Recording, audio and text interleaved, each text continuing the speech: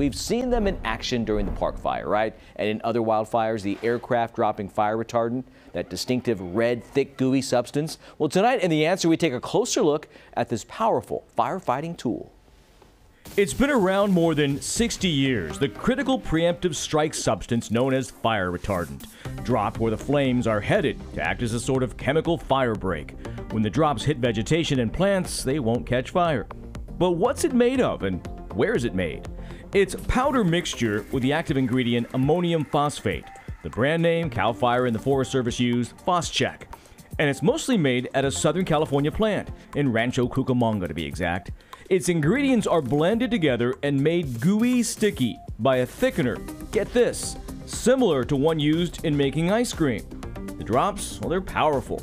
Cal Poly's Fire Institute likens it to being hit by a 500 gallon water balloon. The aircraft dropping it can pack a punch. 1,200 gallons are carried by smaller planes, 18,000 gallons can be carried by those huge super tankers.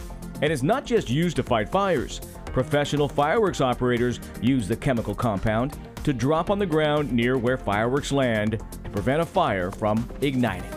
And that's the answer.